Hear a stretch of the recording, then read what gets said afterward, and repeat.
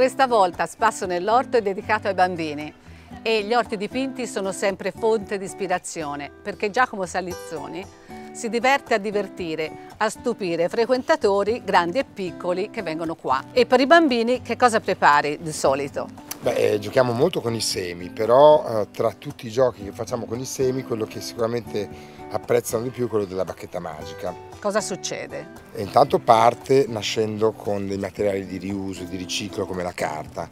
Eh, viene impastata con dell'acqua e dei semi, gli si dà una forma e poi la si pressa facendo uscire l'eccesso d'acqua e la si fa seccare e alla fine il risultato è questo.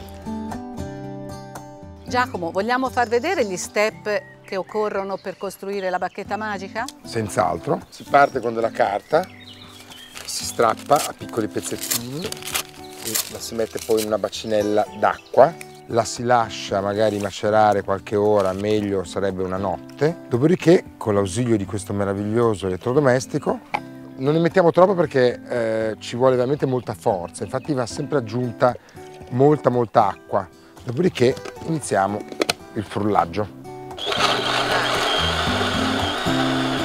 Ok, finito di frullare, io prendo il mio contenitore, dreno un po' questo composto perché è troppo liquido ovviamente adesso. Perché si deve scolare bene? Deve scolare un po' di più, sì. Questo composto lo dobbiamo colorare. Colorante alimentare. Molto importante, in polvere perché è molto efficace.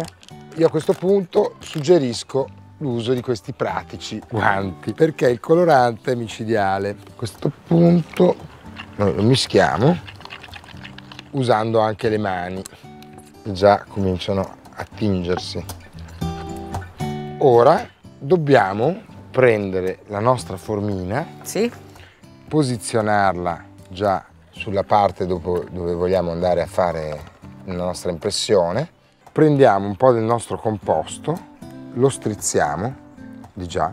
Quando ha poi questa consistenza, che quindi è facile da, da lavorare, io gli pratico una specie di piccolo affossamento col dito, prendo un po' dei miei semi di girasole, li impasto all'interno e la vado a mettere dentro. Alla stellina, alla stellina. o alla forma che vogliamo dargli. Con le dita vado a spingere già in tutti gli angoli, poi mi ero fatto già un, una specie di stampino. E poi strizzo.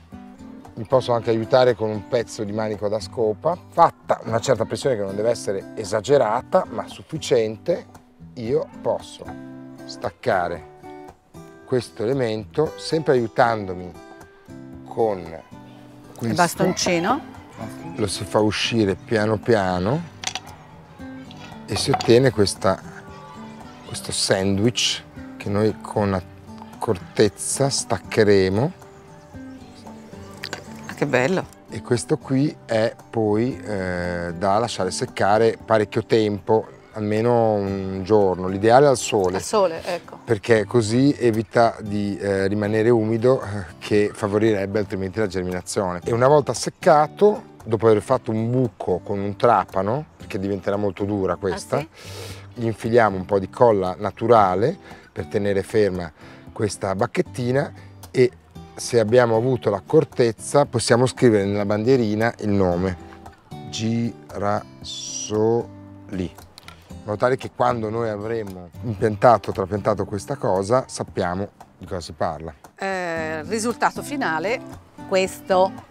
Il bambino gioca a Harry Potter, ma poi quando vuole fare la vera magia la interra, si ricorda quello che ha piantato grazie al nome che è stato scritto sopra col tempo eh, farà germinare dai, i semi dentro la carta. Qui ho fatto anche delle piccole confezioni bellissime, quindi è veramente un, un gioco bellissimo che mamme, papà, nonni, zii, maestri, maestri possono divertirsi a fare con i bambini. Buon divertimento a tutti!